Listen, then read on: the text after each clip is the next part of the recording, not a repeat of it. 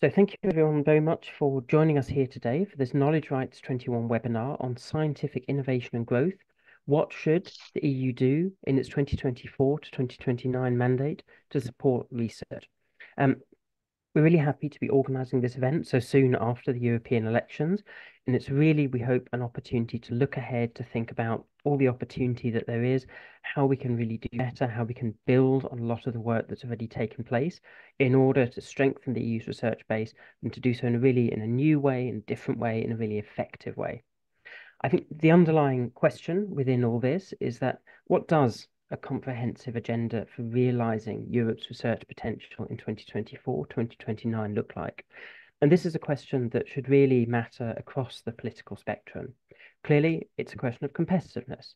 Our research, Europe's research, is a strength, but we often talk about a type of innovation paradox where this strength on the basic side doesn't necessarily transfer into new businesses, into new jobs, into new opportunities that help us keep up with, keep ahead of our competitors globally.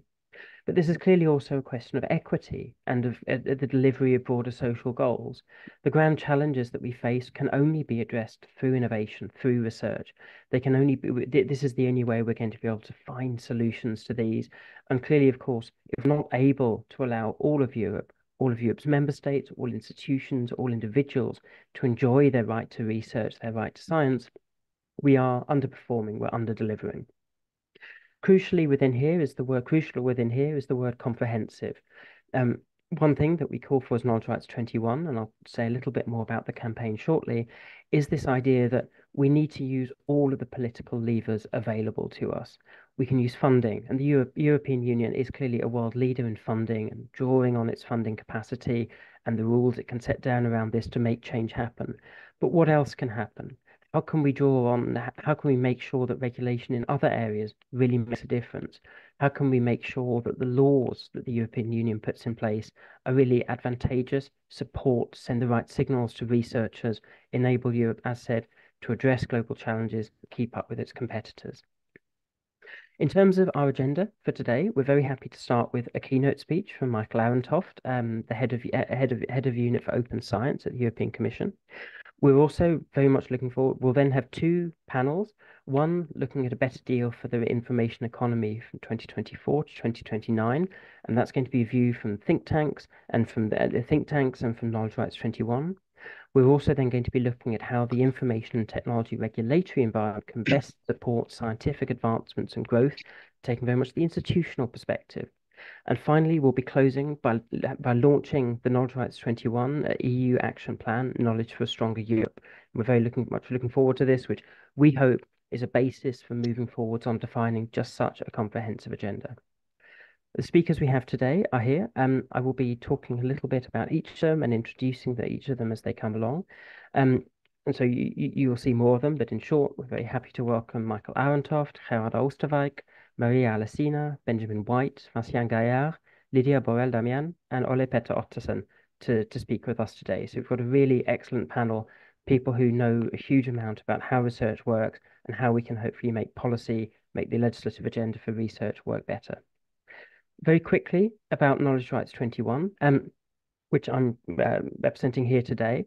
Um, so Knowledge Rights 21 is an initiative that aims to shape legislation that feels that's born out of the sense that too often the experiences of researchers, of educators, of scientists, of, le of lecturers, and of the libraries, librarians and libraries that support them are not always heard in policy making. And that the reason and the consequence of that is that too often we have an incomplete, a fragmented approach that means that while some in some policy actions we may support access to research, education, and culture, in others we hold ourselves back. We want to sustainably mobilize these experiences, create networks on the ground, make sure that this voice can always be heard, that these experiences are brought together, that they are expressed clearly. And finally, we want to try and deliver practical and policy change in different areas. Specific ones include ebooks, contract override, open norm, secondary publishing rights, and rights retention. But I think really crucially in this, it's how do we create this really positive, this, how do we create this really positive um, uh, research agenda going forward? So um, I'd like now very much to um, welcome, I'm going to welcome Michael Arentoft uh, to the, Michael Arentoft to start us off by giving us a, a bit of a keynote speech from his perspective as the head of unit. Um, to summarize, so Michael Arentoft um, was previously, before becoming head of unit, was Deputy Head International Research and Innovation Cooperation Strategy, Innovation Union Policy Officer, Acting Head of Strategy for ICT Research and Innovation, Sector Head for ICT Research and Innovation Work Programme and Planning, Coordinator of ICT Essential Technologies and Infrastructures, and a Project Officer in High Performance Computing and Networking. So I think you can see there's a huge depth of experience of how to support innovation, how to support new ideas to come forward. Before joining the European Commission, he was with Computer Resources International and with Rovsing International. His educational background is from the University of Pennsylvania's Computer and Information Science PhD program and from the Technical University of Denmark's Electrical Engineering Master's program. So with that, I'm very happy to hand over to Michael to, to kick us off. Thank you, Michael. Many thanks, uh, Stephen. Uh, good morning to everyone. Um, thank you to um, Knowledge Rights 21 for organizing this uh, webinar. Thank you for inviting me.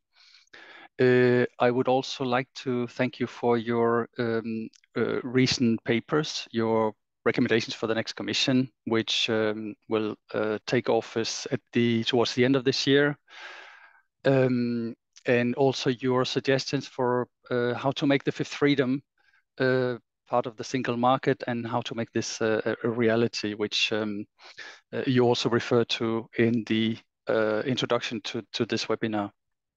Um, so, of course, uh, talking about that, the, the contribution from uh, Mr. Letta uh, back two months ago is, is, of course, very useful for the Commission. There will be another uh, very useful report coming from Mr. Draghi in, in, in, in a short while. And we very much see uh, this report from Mr. Mr. Mr. Letta as uh, useful because we in the Commission, of course, for a long time have been uh, a key promoter of open science. Open science in the in the sense that this is how you should do research. This is, should be the modus operandi of, of how to do research and, and innovation. Um, why have we been promoter for so long?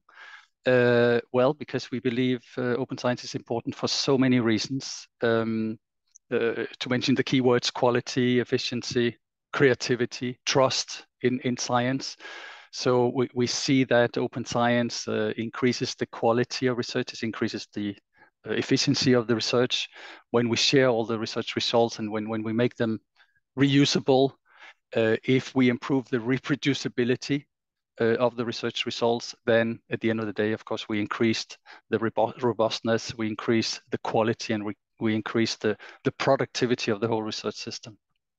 Uh, I also mentioned creativity, and, and here also we, we really see uh, results that are more creative uh, because open science is also about collective, collecting intelligence. It's about cross-disciplinary uh, research.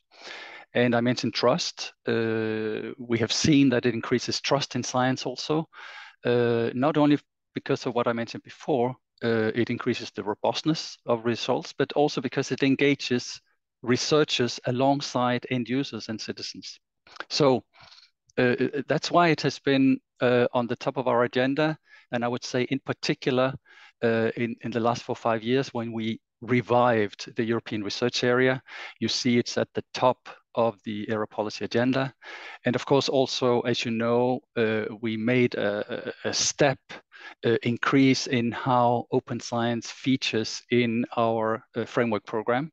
So it was present throughout Horizon 2020, uh, some of the features only in pilot form, but now it's uh, on the Horizon Europe. It's really a comprehensive approach that we have to open science, both in terms of obligations, the provisions in, in the contract, but also uh, very much in terms of pushing in, in terms of encouraging open science uh, where it makes sense in, in the different projects that we fund.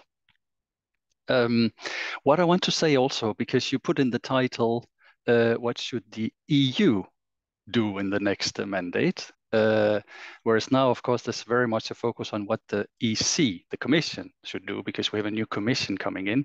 But I think you're right uh, to emphasize that this is an EU agenda. And open science indeed is not uh, just a priority for the Commission. It's very much also a priority for our member states. Uh, of course, there are very close links between the two. And um, uh, five, six years ago in 2018, we updated the 2012 recommendation that we gave to the member states for uh, to, to encourage the member states to design and to implement also open science policies and open science action plans. And um, at the end of last year, we came out with a report where um, we had surveyed the different member states uh, and analyzed what is the uptake of open science policies and practices in the member states. And it, it really shows that over the last five, six years, it has uh, taken off. So uh, what we see now, or what we saw at the end of last year, is that 70%, um, a bit more actually, of the member states have by now a national policy for open access to scientific publications. And if you compare that to the last time we surveyed them, which is four years ago, we were at 45%. So we've gone in the space of just four years from 45 to 70% in terms of uh, countries having a policy for open access to, to publications.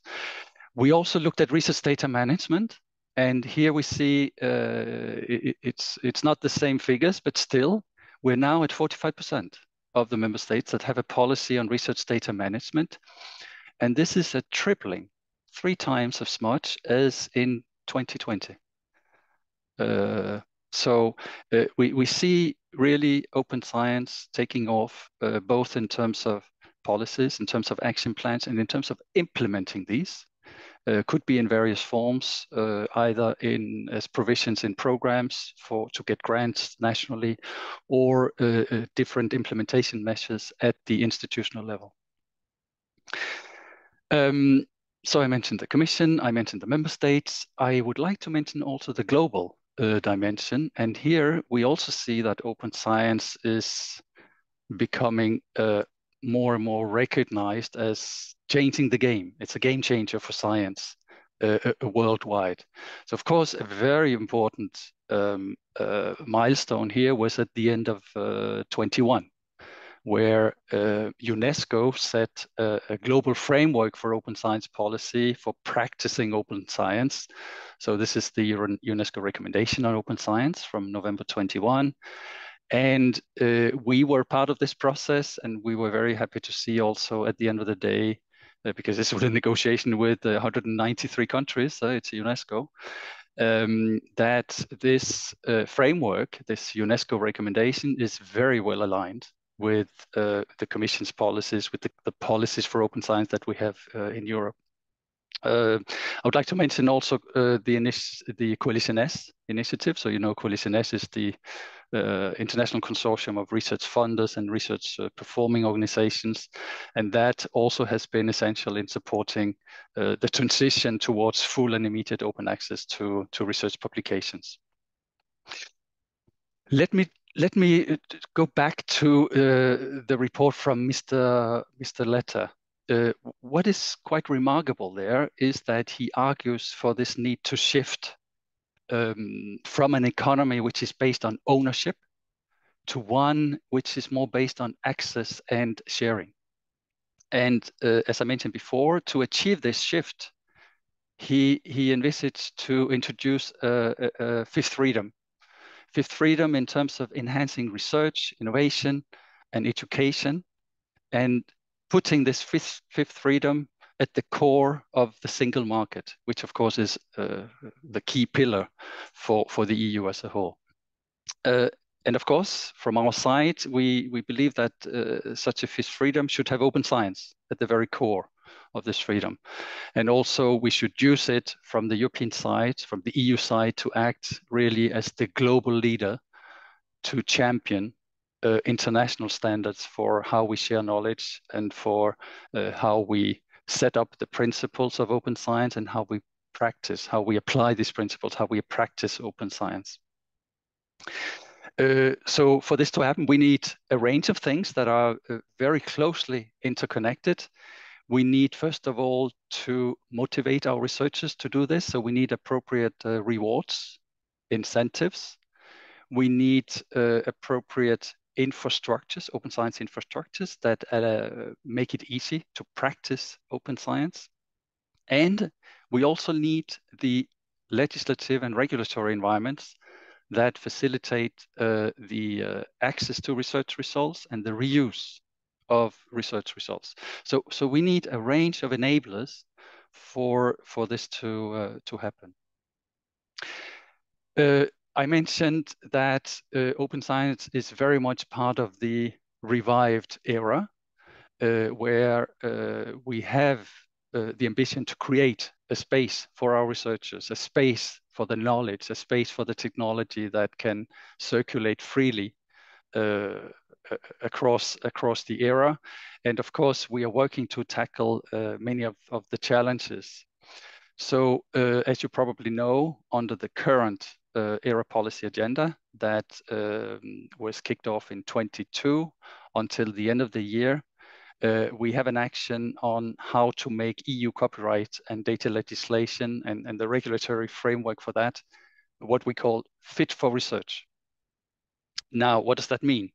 It means that uh, we're looking into how this framework can best enable uh, and encourage this circulation, free circulation of scientific knowledge across the EU, um, that, uh, how it can best allow researchers to also cooperate uh, freely across uh, the, the, the, borders. And of course, whenever we encounter barriers, we would like, to, of course, to remove any uh, obstacles, legal or non-legal obstacles uh, that uh, block or slow down this circulation or this uh, cooperation. So, of course, at the core of that, we need to have an adequate copyright and legislation and adequate data legislation because that's the uh, regulatory framework that uh, sets up the conditions and uh, that that could have that will have an impact or that has an impact on how we protect scientific results and how we disseminate uh, scientific results. Um, so we um, as part of this uh, action under the current ERA policy agenda, we have uh, uh, looked into how to gather uh, evidence of what are these uh, barriers, these obstacles, and, and what would be the options to do something about it. So what we see from this increasing body of evidence is that the current provisions that are relevant for research under the uh, EU legislation presents uh, several challenges, both uh, individually, so for individual researchers, but also for the organizations of the researchers.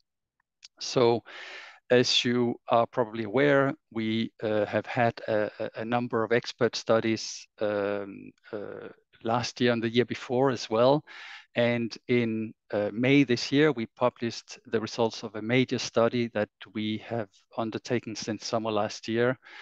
Uh, let me mention some of the most common barriers that uh, this study showed uh, that were encountered by our researchers. So, for instance, uh, lack of subscriptions by the organizations, which was a barrier to, to the day-to-day -day research.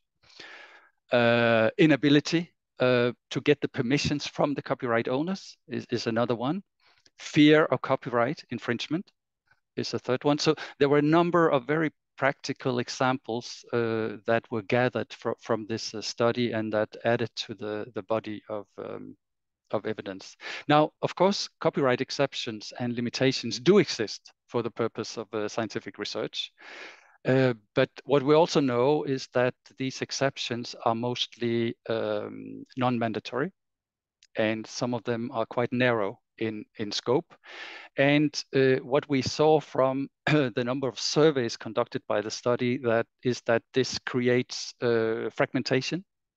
It creates from the side of researchers and research organizations um, uh, legal uncertainty uh, regarding what they can do or what they cannot do uh, with their work or with the works of others.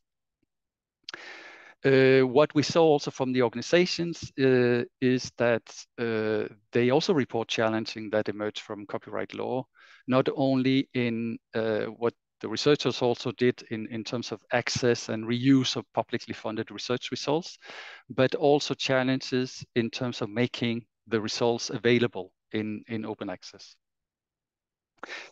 So uh, a, a, useful study uh, or series of studies, and uh, I, I, must say that now we have a clearer picture of these uh, on uh, existing challenges, these existing barriers, uh, which means that we have a much better basis now to look for possible solutions to attack these challenges. And that's why the study also not only did surveys to, to get evidence uh, in general, but also with very practical examples. But it also presented uh, what could be options for measures, be they legislative or non-legislative.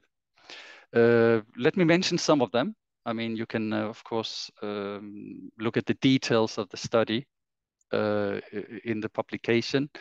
Uh, let me mention first the possible introduction of an EU-wide secondary publication right legislation uh, and the provisions that could be included in such an uh, SPR, secondary publication right uh, legislation, which would span from uh, the, the, the range of scientific outputs that could be included, the embargo period to be allowed, and, and, and other parameters of an, of an SPR. So the study goes through all of these sub-options as well for uh, a possible EU-wide secondary publication right.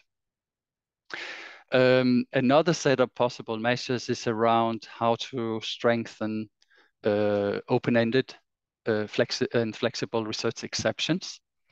So, of course, this could be achieved by introducing a, a, fully harmonized, mandatory, and general exemption for scientific research. It could be uh, achieved by clarifying lawful forms of access. It could be achieved by removing excessive barriers posed, for instance, by um, technological protection measures. Um, a third one I could mention uh, would be uh, around commercial, non-commercial. So abandoning or making less stringent the requirements of non-commercial purpose in the copyright uh, acquis. Uh, and maybe one last one I would like to mention is the option uh, uh, to um, give guidance on current TDM uh, text and data mining provisions that are contained in the copyright directive. And of course, this with the view of raising awareness on one hand, but also to facilitate implementation by the research community of, of this uh, part of the copyright directive. Um, finally, I should mention that um, uh, it was uh, uh to a large extent uh, a lot about the EU copyright legislation, but the study also analyzed uh, provision that are, provisions that are relevant for researchers and research organizations in the EU data and digital uh, legislation and, and what, what is the interplay between the different legislative instruments under the EU data and digital legislation. So what they highlighted, the study team in their report, was, um, was a landscape that is not always easy for researchers and, and research organizations to navigate. So they put forward a number of recommendations to improve this uh, situation. Uh, so all of these findings around the copyright and around the data and digital legislation uh, really were complementary, dig deeper into the evidence that we had collected through um, uh, a number of independent expert studies, four actually, that we published in, in 22, and also complementary to two large workshops that we had with stakeholders, with legal experts, and with the member states uh, that we held back in 22 and, and 23. Now, uh, based on this evidence that uh, we have collect collected so far, uh, we are now planning to identify possible measures, uh, be they non-legislative or legislative, that uh, could be undertaken by, by the next commission. So, of course, in this uh, process, we need to take into account for each of these possible measures uh, the benefits for the stakeholders, the impacts on the stakeholders, and then, of course, uh, identify those that uh, would most effectively contribute to what is our ultimate goal to enable open science, to realize the European research area, and also to respond to this vision from Mr. Letta of the fifth freedom to enhance uh, research and innovation, education in the single market. So uh, as I said, um, among these measures, we uh, could think of introducing an EU-wide secondary publication legislation, question mark. Is, is that something we could consider to introduce? We know that over the past decade, six member states have already introduced a secondary publication right in their national laws. Um, uh, Austria, Belgium, Bulgaria, France, Germany, Nether the Netherlands. Um, and we know that also other countries are looking into this opportunity. So what we see, is there a need to act now? Could we introduce something which is more harmonized? Otherwise, we, there could be a risk of fragmentation. So the question for us is, could we introduce an EU-wide secondary publication rights uh, legislation?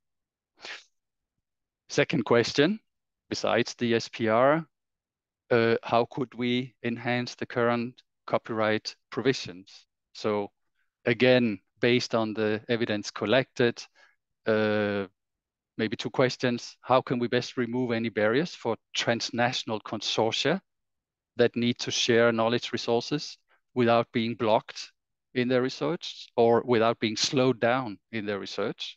Again, question mark. Um, uh, we know that unequal access among partners to publications or to data or to, or to any other research output limit the remit of the research uh, that uh, that can uh, be carried out or can lead to delays, as I said before, and, and of course this is not good for science.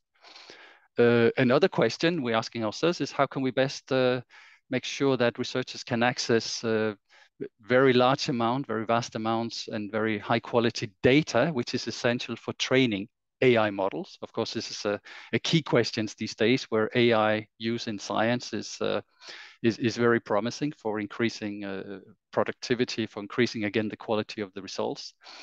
So uh, here in particular, recent developments around AI, and particular, of course, generative AI bring uh, new legal, legal uncertainties as to how um, uh, current copyright rules should be should be interpreted.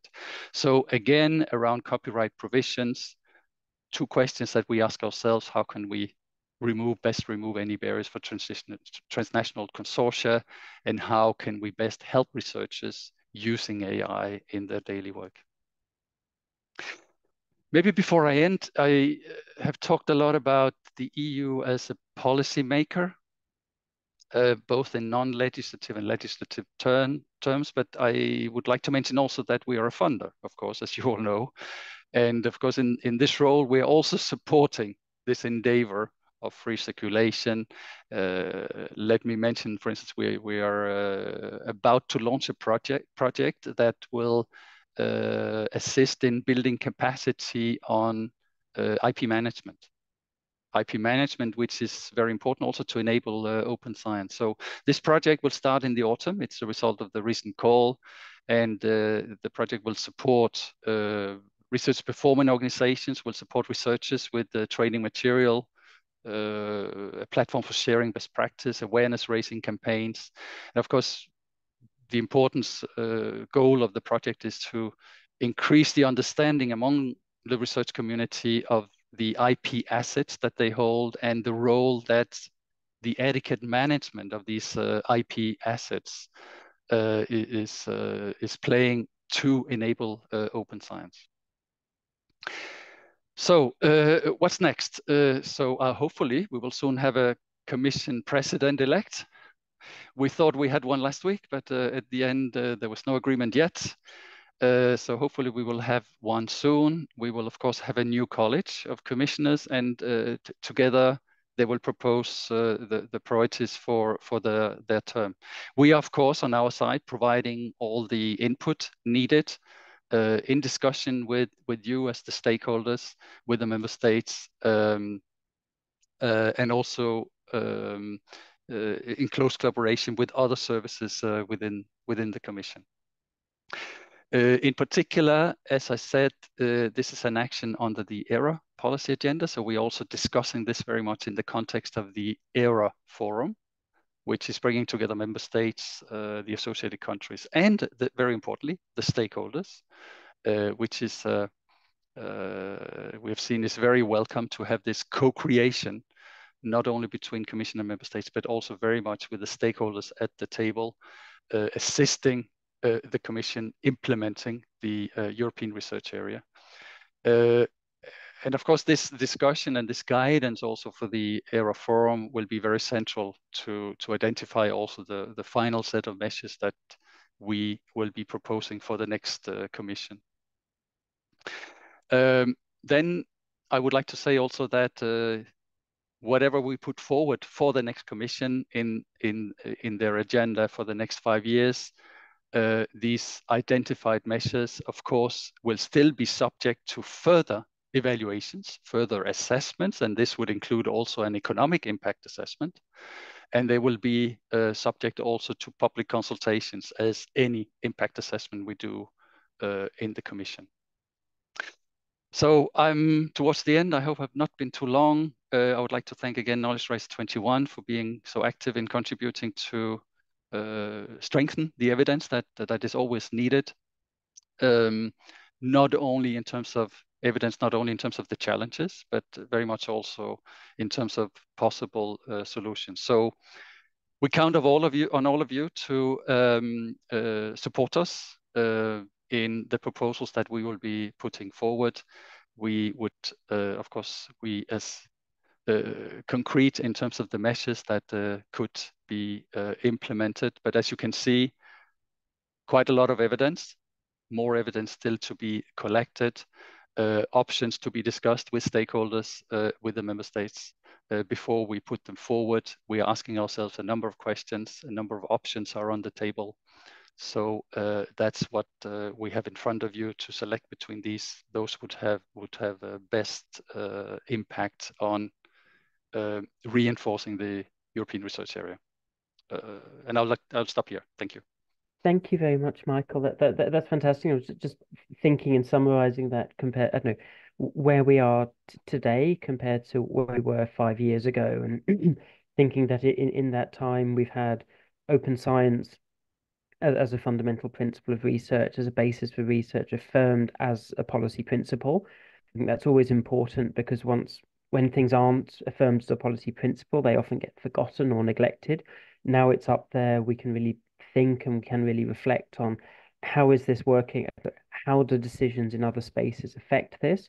Um, what's holding us back? What's what's preventing us from realizing the full potential? So that making sure that open science is a policy principle is huge.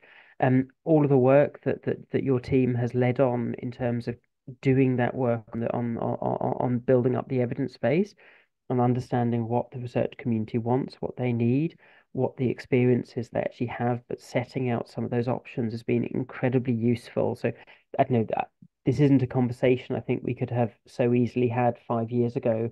And and I think thanks to the work that you've done, we're extremely well set up to having a really positive, constructive, purposive discussion about what what that research agenda, what that research policy, research legislation agenda looks like in the coming in the coming years. So thank you so much to, to, to you and your team for showing such leadership on that. That that, that that's been a huge help. Um, so I, I'm I'm conscious we're we're um five past ten already. What I might suggest is that if there are questions for um uh questions for Michael, I might put those in the chat so that we can get on to the um next panel if that's okay. Um, I'm just going to share the screen again. So um, I suppose um the first panel that, that, that we're looking at is a better deal for the information economy. And this is the one where we're going out to the think tanks and the organizations that are, are there to look across the policy agenda, to think about what could be changed, what's holding us back, what could make sense as part of that broader political agenda. And and I think and the idea of a, a, a, a new deal, a better deal is nothing new. I know certainly under the previous commission and parliament, calling things deals was obviously quite a hot thing. But um, effectively, what does it look like? How can we provide a more coherent, a more robust, a more supportive policy framework to mean that we can actually really develop an effective, a high performing and inclusive information economy into the next four, into the next five years. And so with this, I, I have the pleasure of introducing three speakers. Um, I'll introduce each of them in turn, and then I said, you should talk for up to 10 minutes each, and then that should leave us about 10 minutes at the end for Q&A. So First of all, I would like to um, invite Gerard Oosterwijk, Gerard Rins Oosterwijk, to speak, and he's the policy analyst on digital for the Foundation of European Progressive Studies. Before joining FEPS, Gerard served as a political secretary and director of the Vooruit movement in the Brussels Parliament and as a senior policy advisor in the European Parliament. His experience in the private sector includes roles as an operational manager and marketeer at ING Bank and as co-founder of a political startup. Recently, he's been active in setting up digital initiatives to promote a public space on the internet. And Gerard comes with a master's in European social policy from the London School of Economics and an LLM in private law from Leiden University. So with that, I'd like to hand over to you, Gerard. Thank you. Thank you, Stephen. Uh, thank you for having me today. Um, and uh, it was very interesting to uh, to, to listen to uh, Michael uh, introduce uh, what the commission is working on, and uh, and I must say it's quite complex uh, uh, when it comes to, especially when you come into the to the AI part of it and the the copyright and and all of that. Um, so I will talk a little bit about what we are working on um, at FEPS because, uh, as you know, it's a very, uh, very timely discussion to be had uh, with the with the new European Commission. the Commission elect is not yet the um, yeah, it's not yet decided, but soon we will have a new a new mandate, a new term. Uh, the new European Parliament is elected, so this is a moment to put in uh, new ideas. Um, and we've been working already for the last year uh, on, on what is the next strategic step. Um, as Stephen said in the introduction, I'm the, the digital policy analyst, so I look at this mostly from a digital policy perspective. Um, but I think research and innovation is, a, is an essential part of that. And uh, and why am I saying this is also because here at FEPS, so we are the think tank of the, the social democratic family. So we are being paid by the European Parliament to do research. Uh, and uh, not only doing research ourselves, but working with researchers uh, in um, in different universities and and also with civil society to to actually work on a more long term vision on on policy. Um, and I'm saying this as well because we have here in in house we have also a colleague that's doing more the economic and the competitive side of of Europe. We have somebody working on the the climate and the green. Um, because for us, I think this uh, this new year, the new uh, uh, European Commission, there's there is a lot of talk now about industrial policy, and I think that's where uh, the Letta report is very interesting to see this this fifth freedom. But we are also looking into this. Uh, yeah, we need we need uh, uh, quite some some investments and and different policy than we had before to make sure that Europe stays competitive. Um, and uh, investments, for example, in public digital infrastructure. And I think also what I've read also from Knowledge Rights uh, 21 you are also proposing this, uh, this this digital infrastructure for the research, uh, the the research and innovation is an important part. Um, we have seen that the last term was really about legislation uh, tech, um, and I'm interested to read as well. Like I, I noted down also, Michael, uh, the, the studies I haven't read them yet, but I will read them. Uh, we have a lot of legislation in the digital domain uh, coming in, coming into force uh, only now or just just before. Uh, the Digital Service Act, Digital Market Act, the AI Act, and and all of this is uh, is going to set a new a new boundary and also creating new opportunities, perhaps, uh, new for for alternatives. But um, the last term was really about regulating and setting boundaries to the to the private actors because when you look at the digital uh, the digital sphere and the digital economy, uh, Europe has been in the lead when it comes to legislation, but not in the lead into creating the infrastructure that's needed to to function. Um, and and with AI, a new wave of, of innovation. Once again, I think when it comes to the actual research and the universities and the knowledge, we do have it, but when it comes to the infrastructure to run these processes, it's very hard to keep up with the with the also the the the spending power of the big big tech uh, corporations. So I think there is a there's a real challenge, um, and it's something that you cannot do like even on the member state level. It will be hard or especially on an on a university level, it will be hard to to duplicate the the, the power that's needed. And I'm talking about the supercomputer capacity, with cloud capacity, the data sets, everything. It's it's such on on it works on such a scale that we need to scale things up and that's where um, um, also uh, we we would like to see also the European Commission but also the new the new like uh, the collective so it's also the member states it's not only Europe but to see how how how do we actually uh, realize uh, this? And i think also when it comes to to this um, so i'm looking at it a little bit from a more practical perspective. There's a lot of research and uh, and i agree like when it comes to copyright and, and the open science this is, is creating new um, new opportunities to share, but can be also very practical. Like where is this knowledge? Like on which platforms? Uh, it was mentioned as well the the licenses, the su subscriptions. Also for me working at a think tank here, like we are not a university, we don't have all the subscriptions. There's a lot of research I cannot I cannot uh, get to um, unless I ask for permission, and that takes then time. And and so we have we have really an issue there. And I I, I see a, a potential. The digital transformation it's, it's giving a lot of opportunities to share knowledge uh, uh, and and to work together and to collaborate across border. And and there's a lot of opportunities, especially if you uh, throw in AI in the mix, uh, the the the processing of all the data on a on a higher speed. But this means that we need to, from a European perspective, and at least that's our perspective at FEPS, it, it, it also needs a public domain, a public uh, side of things um, where the infrastructure is not only in private hands, or even if it's in private hands, that it is like accessible also uh, uh, uh from from from for uh, for the the common good.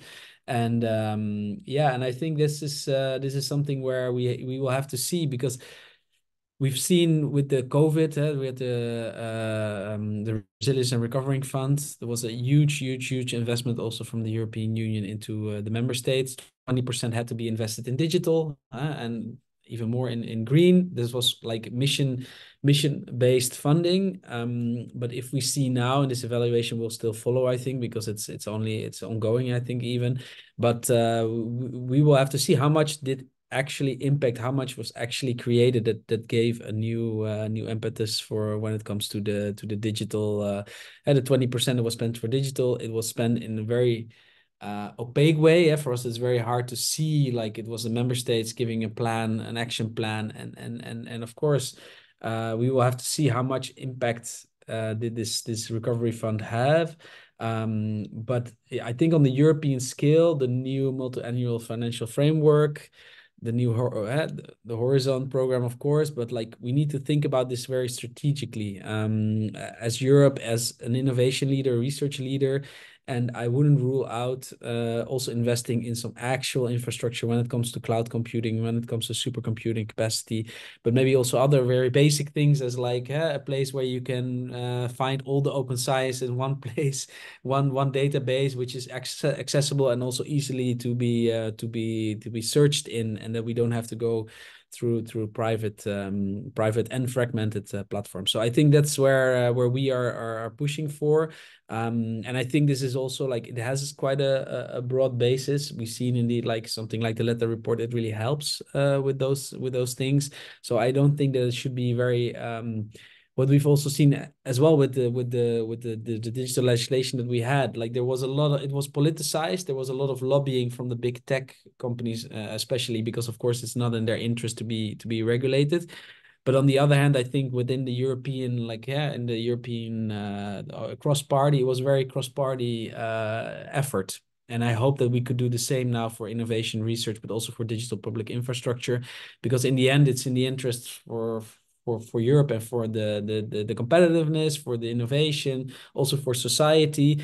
Um, because now here we're talking really about about more research, but when it comes to education as well, like there's a lot of worries. I think uh, when it comes to parents and how digital infrastructure and how learning experience is being is being managed by private actors, the Google schools, for example. So we are looking at that, and I think also in the Letta report, it was also the healthcare sector was really like put to the forefront. So those are already two sectors where we see we can get really concrete concrete and come maybe with concrete projects. Um, but I think, and uh, that's also where where it becomes tricky. Also, running all of this from the level of Brussels and from the European Commission with with funds, it is tricky. We really need to get also maybe the methodology right to to do these investments and to have some some some actual results, some some synergies, and and and spend the money wisely in coordination with the member state and with stakeholders like the universities, but maybe also uh, the education uh, stakeholders on the, lower level. So I, I, think I will stop there, but I think um, this uh, the, the, there's a fertile ground to do this. Um, and it's very interesting to read also the proposal of uh, Knowledge Rights 21 uh, in this field, because I think uh, yeah, we should we should have a broad basis for this. And and if I can say one thing, so to to follow to to close, like I think this is the thing that uh, that makes Europe um, have an edge. We have a strong public university sector, strong research sector, strong research innovation sector, um, and uh, and now it's time to support that because there will not be a lot of time, for example, in the AI field to catch up. There is already like I think uh, because the the scale of things are so big, um, it will be it might be I wouldn't say too late, but we cannot we cannot wait another five years and see what happens. Uh, I'm afraid. So there's a time there's some urgency. Thank you. Thank you very much, and and, and I think that all the points you make are extremely well taken. I think that key point about the importance of ensuring there's actually access and and and, and that in, in the decisions that are being taken around research, we really are thinking about how does everyone actually get involved. There's been a really interesting um, there's been a really interesting point made in the in, in the Q and A focusing on the risks of I don't know, for example, on building access to super supercomputing resources and how clearly this is something where sharing makes sense that allows people to get access in a way that isn't that get access in a way that that wouldn't be possible otherwise. But we need to make sure that the rules are in place, the laws are in place to do that. I think also an approach to trying to depoliticize the approach to some of these things that we shouldn't. I don't know. We need to legislate at an appropriate speed. I think there's a risk of rushing in doing so, that things end up being politicized, things end up being over lobbied. Um, uh, things end up being over lobbied, but then you know, we need to legislate in a way that actually supports who supports that access. So, um, with that, I am then going to. I'm very happy now to hand over to um, to uh, there we go to Maria Alesina um, from the Federation or uh, from the um, the European Liberal Forum. Um, Maria is a policy and research officer there, and alongside the Foundation of European Progressive Studies, it's one of you, uh, and, and it's one of Brussels' foremost think tanks. Um, Maria holds a PhD in interdisciplinary European periodical studies, and she specializes in European cultural, social, and neighborhood-related affairs, and has professional experience in journalism and editorship. Um, so I'm going to hand over to Maria and just remind everyone that if you do have questions, please do ask them in the Q&A and then we'll take questions to everyone at the end of this segment. So Maria, over to you.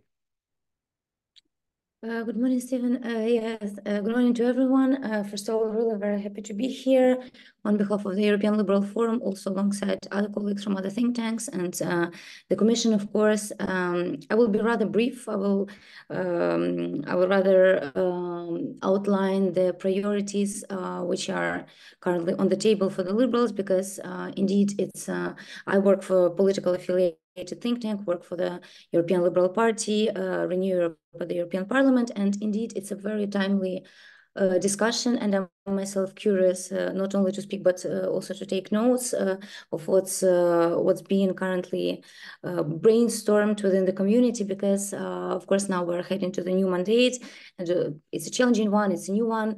It's the one which is happening amidst all the global shifts and transformations and this is something which is very much being talked about within the liberal family at least on the EU level but also on the national levels.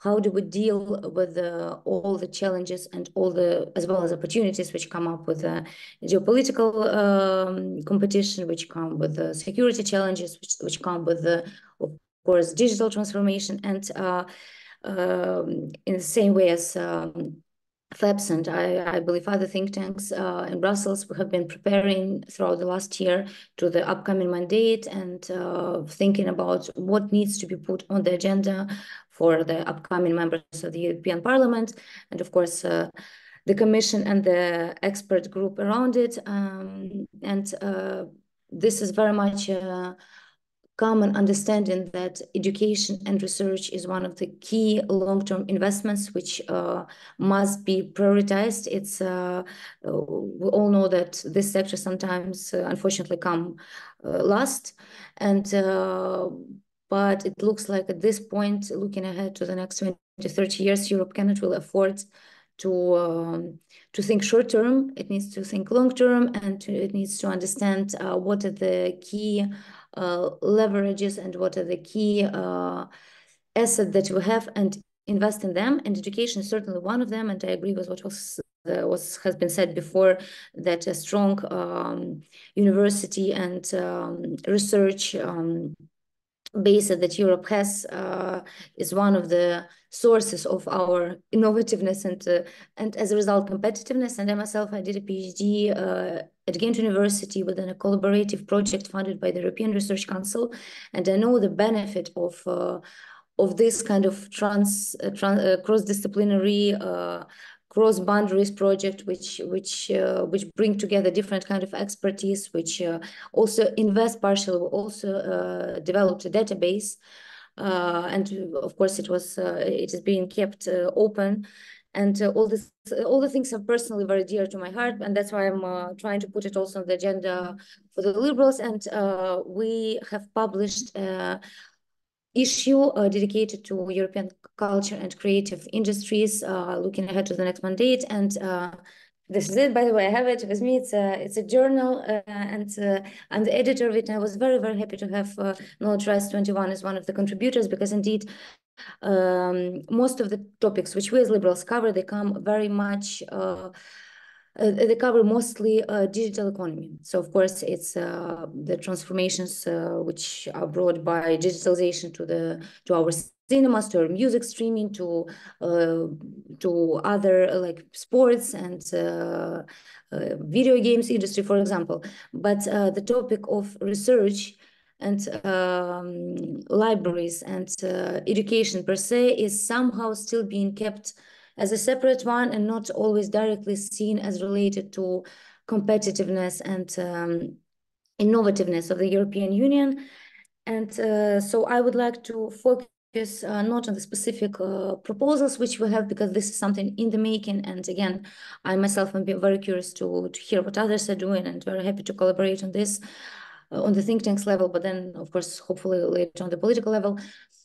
Uh, so I will not focus on the concrete proposals, what needs to be done. I think the keynote speech was uh, very, very insightful in that regard. I would rather outline the priorities overall with the Renew group uh, will be pushing for and what relates to the uh, education and research and what actually came out of this study, which we just published months ago on culture and creative industries. Uh, one of the things uh, and how it also overlaps with the knowledge rights uh, report, um, knowledge rights 21 report. Uh, I was actually curious to see uh, some sort of interesting overlaps in terms of methodology, uh, not methodology, um, concepts. you speak a lot about fifth freedom and we, we had one of the contributions talking about a fourth pillar of liberalism, which is epistemic liberalism, which means the, the need to keep knowledge freely circulating because this is the the key source from the enlightenment and from from from long long uh, years uh, before the european union even and of course in the last decades uh, of uh, this is the key source of europe's creativity and the key uh, key source of europe's uh, open-mindedness and um, uh, we need to cherish this. We cannot take it for granted. We cannot just rely on something which has been done before.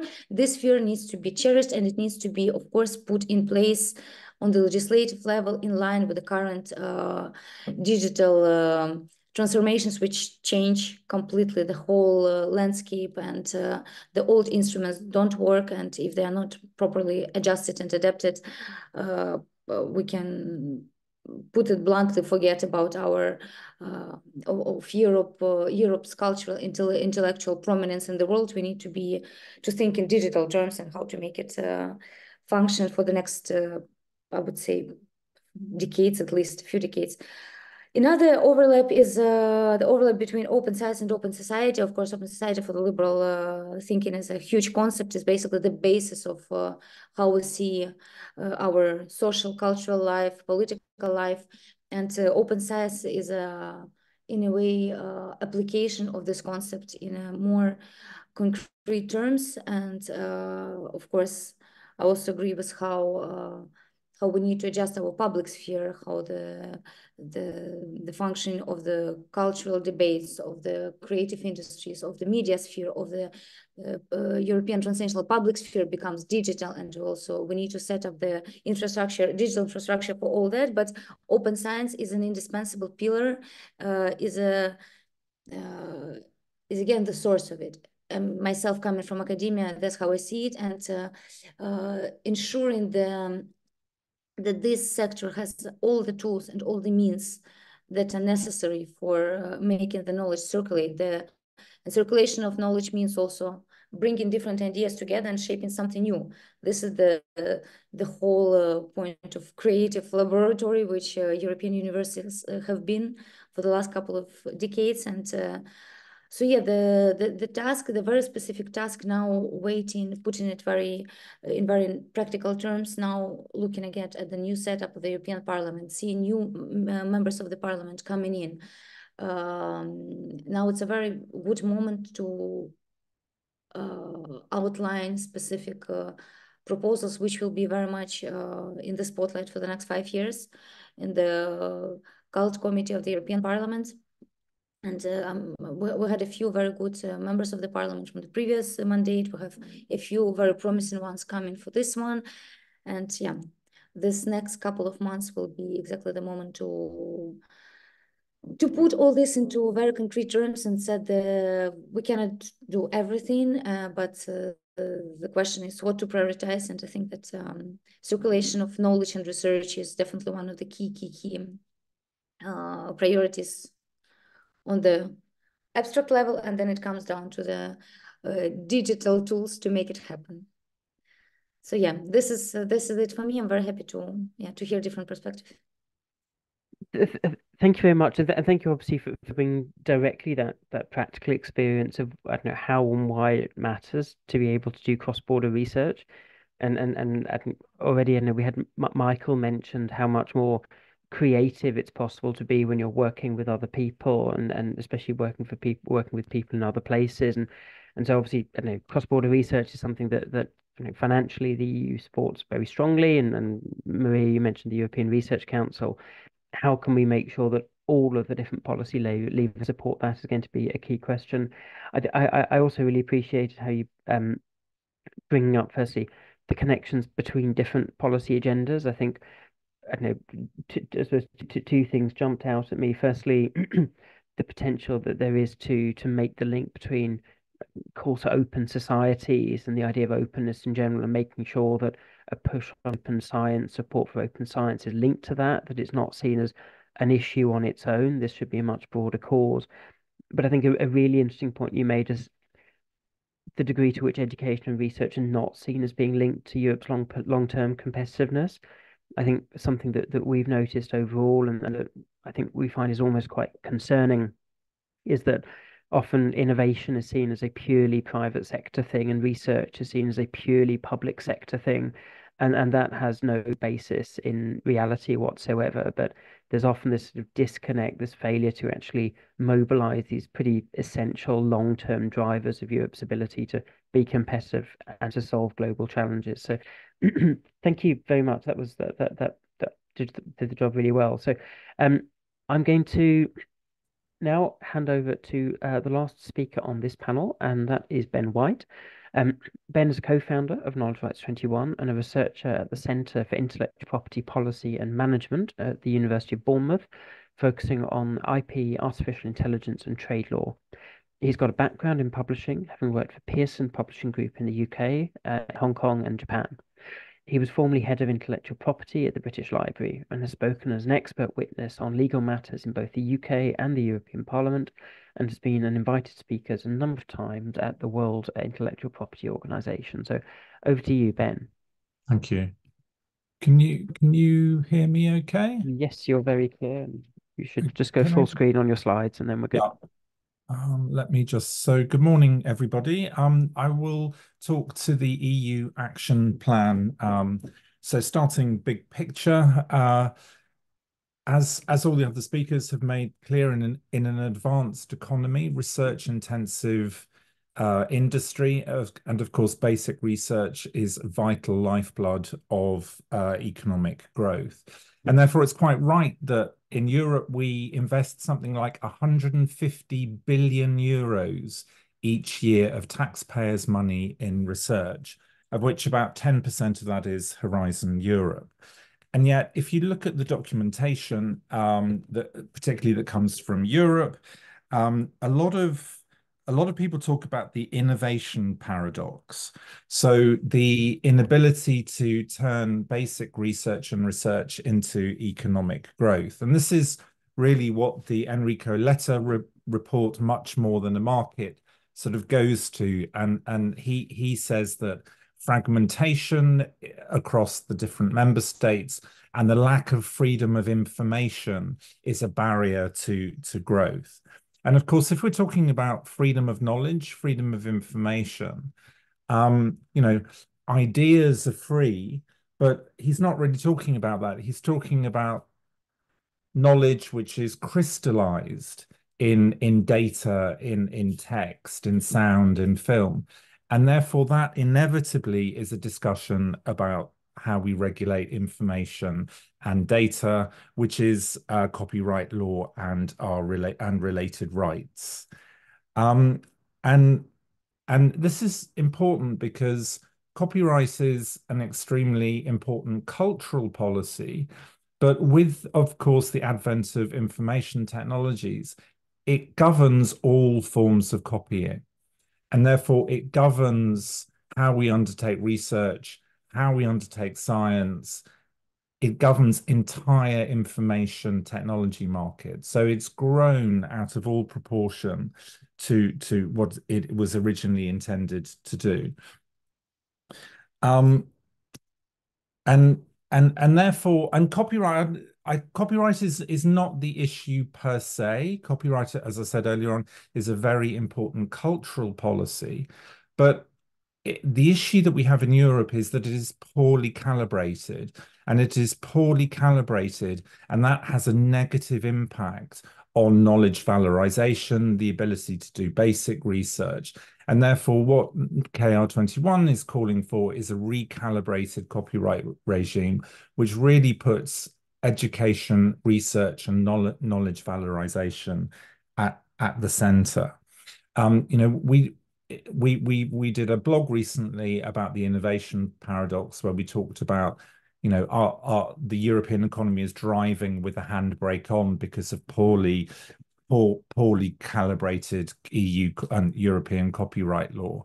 I guess another analogy is is is the logjam that we we we spend billions, tens of billions a year in research, but it can't be appropriately uh, processed, exploited because we have copyright laws which which um, don't support re research. So I'll give just one example before I move on to the EU action plan. So based on figures from the BBC, if it would take one European startup or SME five months to clear um, permissions to do data analytics on 100 websites. Um, if those websites reserved the rights, so for example, they said that it was only for non-commercial use. So a small SME, or let's a public-private partnership between a university and a commercial company would spend five minute, five minutes, five months trying to clear rights in in a hundred websites. Um, whereas if if they were based in the United States or Singapore or Japan or South Korea, they wouldn't have to clear any permission to do data analysis of competitor websites. So that that's kind of a, a concrete example of of of the problems that we face in in Europe. So turning now to the EU action plan. Um, first of all, uh, referring to the Enrico Letta report, we believe that there should be recalibrated, uh, better freedom of knowledge, freedom of information, freedom of data across member states. And of course, let's not forget that Horizon Europe is there to promote cross-border research, and yet we have, as the report makes very, very clear, legal silos across the EU 27. We believe that there should be a standalone Research and Education Act.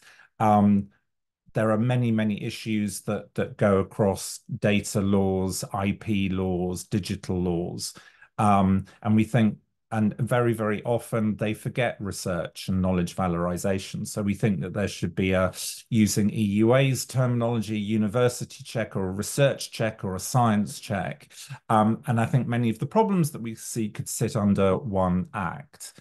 We think very importantly that there should be not this prescriptive shopping list of flexibilities in EU copyright law, where essentially all, all, all the switches are off unless legislation switches them on.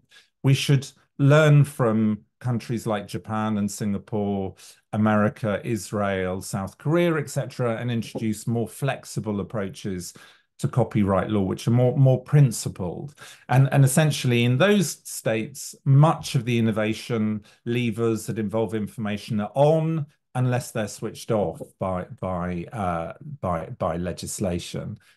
So so we think we should learn, and actually empirical evidence suggests that introducing flexible approaches to copyright law has a positive effect for technology industries and research and has and and there is no um and and actually empirical evidence suggests that there's a benefit for the traditional copyright industries also. So we think also that open norms have the the ability to deal with the fragmentation that we see across EU copyright law. So member state silos. So for example if you're doing machine learning in it as part of a collaboration, a non-commercial collaboration in Germany, Sweden, and Spain. Um, in Spain, you can do machine learning on software, but you can't in Sweden and and and Germany. Germany allows the sharing of training data, but Swedish law and and Spanish law doesn't who's who's who which countries technical uh, security measures apply? Is it those of sweden or germany or spain according to the law? So we have all this sort of legal fragmentation still and we think that an open norm not only empirical evidence suggests supports economic growth it will it will help iron out the fragmentation that we get from the transposition of directives. We think that we should learn from japan um, and introduce sort of higher over, oversight of the importance of intellectual property law to put science and research at the heart of how we think, and that includes a sort of a stronger um, DG RTD.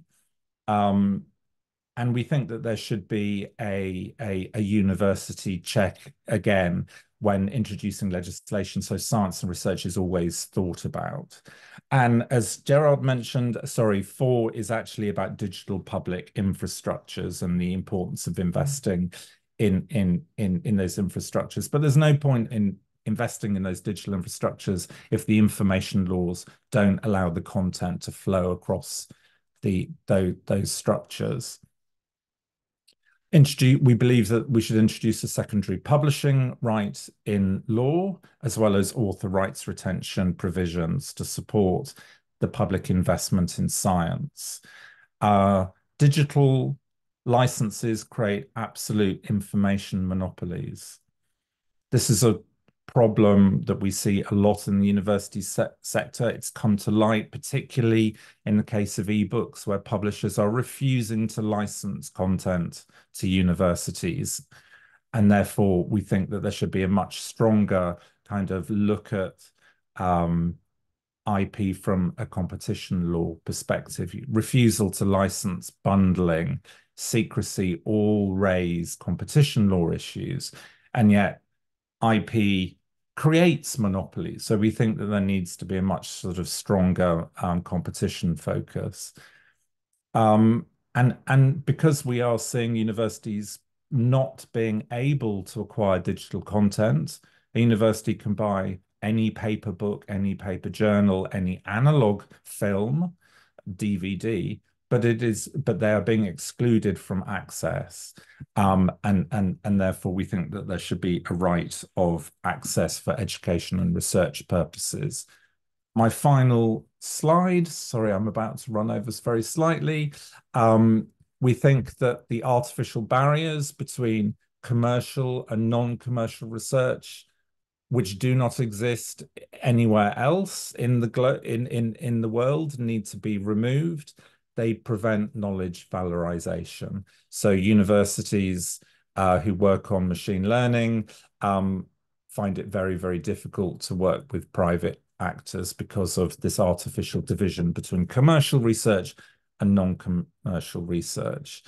Um, flexibilities in law should be protected from contractual and technological override. What's the point of introducing laws if private actors can then remove them via contract and, and the use of techni technical measures? And finally, um, recognizing the imbalance of power between universities who must acquire information and those that sell it, um, and the very risk-averse nature of universities in terms of not wanting to um, incur liabilities. We think that we should learn from unfair con un unfair contract law and basically protect universities and educational establishments in the same way that we protect um, uh, citizens from unfair um, imbalances of power between licensor and licensee, and that individuals acting in good faith should have limitations on liabilities in terms of IP uh, law, as again, as we see in other jurisdictions outside of Europe. Um, but I think Stephen will talk. I will stop sharing. Um, Stephen will talk a little bit more about the EU action plan later. Thank you very much.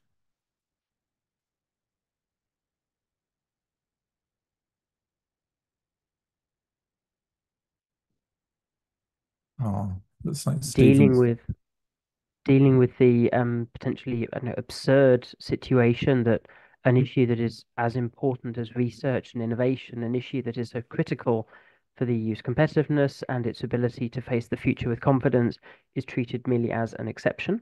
Um, and how do we actually address that? But also this broader thing that we're looking at copyright, but we also need to look at contracts, how they're applied. We need to look at liabilities. We need to look at the level of political priority, the coordination, um, the effort to avoid inconsistent regulation coming through. And I think that's really what the EU action plan looks to do. So um, if people do have questions, um, please do put them in the chat. We do have a couple of questions that are already up there right now.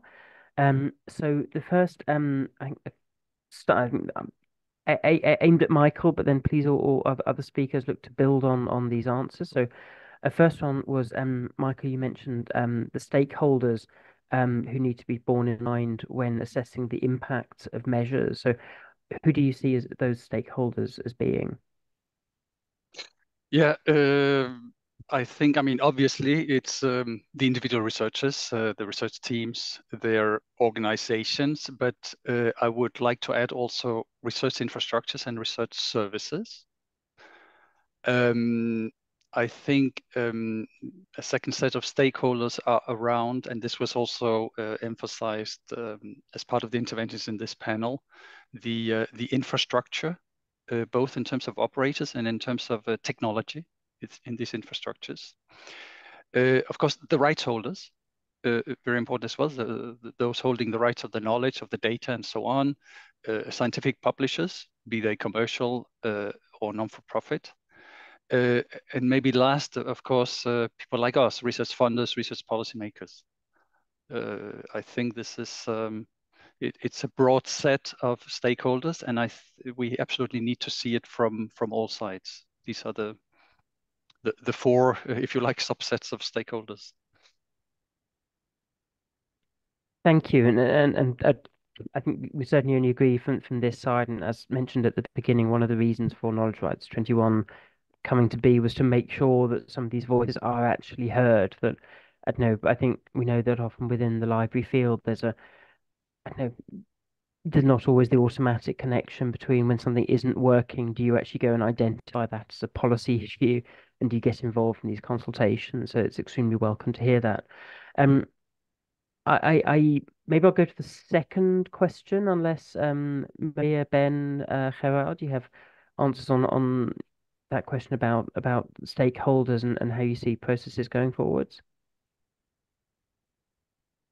I'll dive to the second question then. Um, so um, this is from uh, Greg Lindahl, who notes that his European collaborators report that they have access to European supercomputing resources in a different EU country, and we talked a little bit about this in response to Gerard's point, but the other country has a different interpretation of text and data mining clauses, which of course may will, will create issues around what it's possible to do with legal certainty.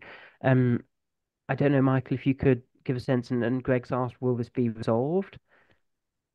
Yeah, I, I mean, I, I raised this also in my um, introductory remarks. Uh, the fact that access is unequal, the fact that you have different interpretation of the rules, it, it really puts brakes, or at least it limits the, the, the scope of the research that can be carried out or uh, yeah, uh, it causes delays or even blocks it.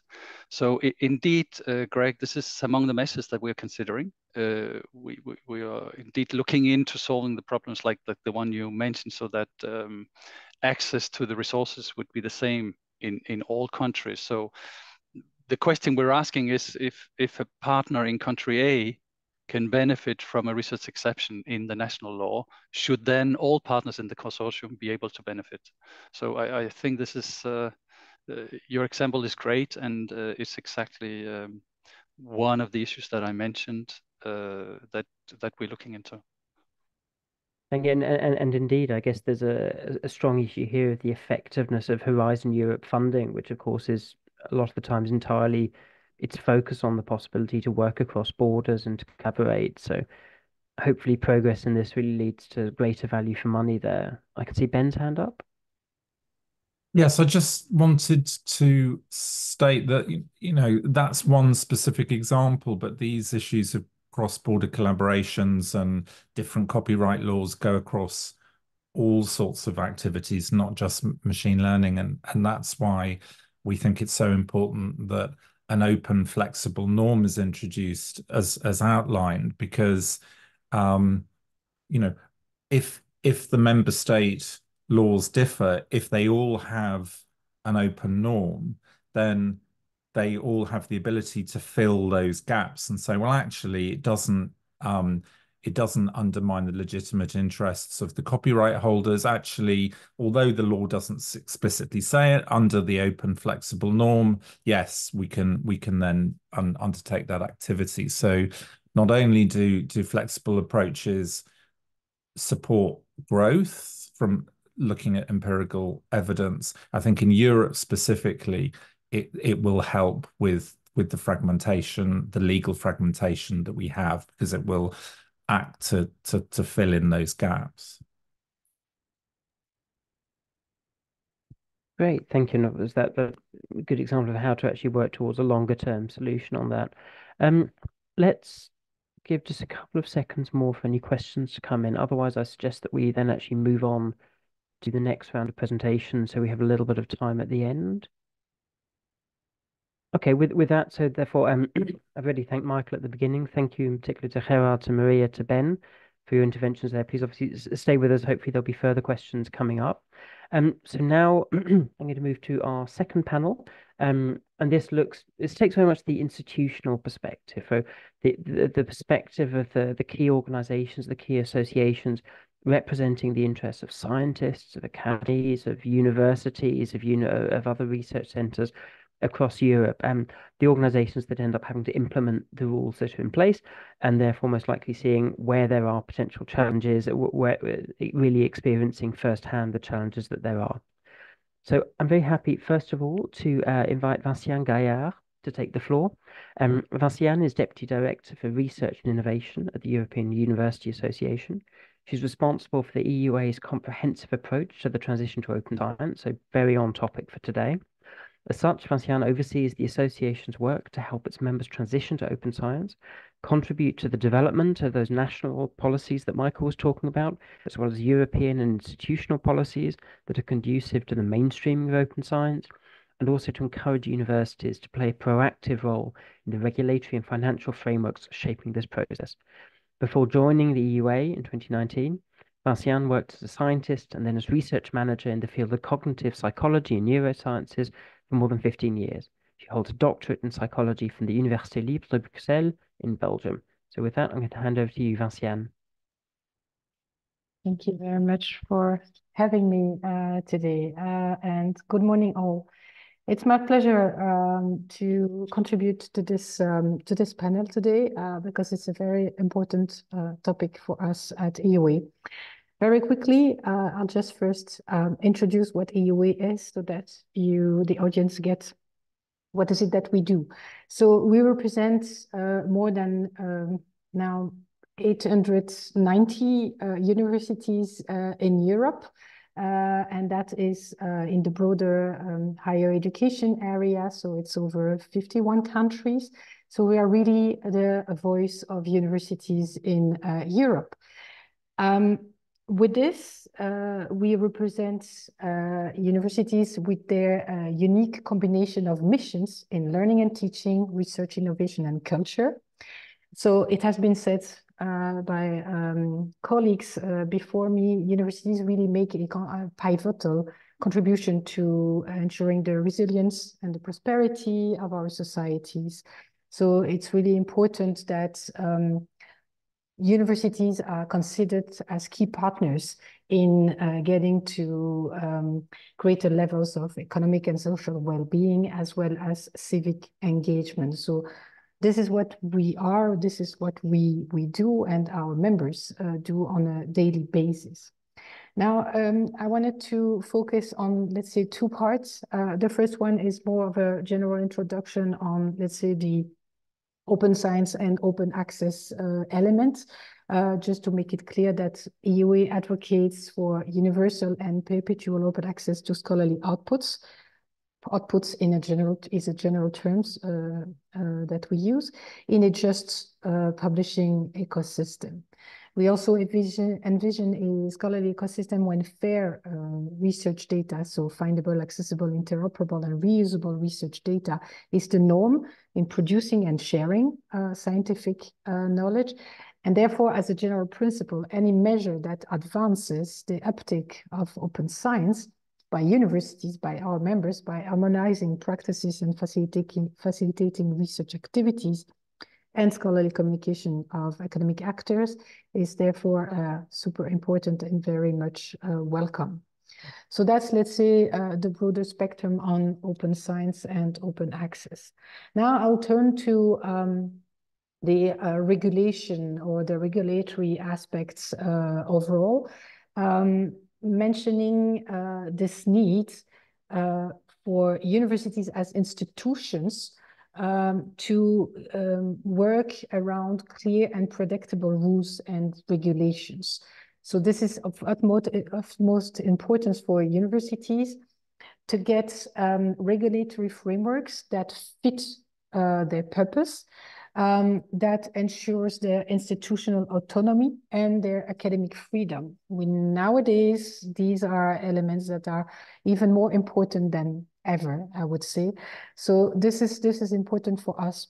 I'll give you um, two examples where um, universities as institutions experience difficulties in that because the regulatory frameworks are not so fit for purpose.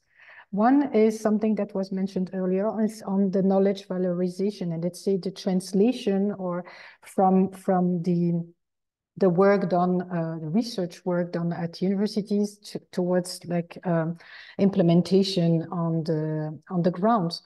Um, more and more we hear about current discussions on more interdisciplinary and more intersectoral research careers, the fact that it's important to be um, to go outside, to go back to university or to come from out the outside world, let's say from non-academic um, uh, settings, coming to universities to contribute to this um, uh, cross-pollination in a way.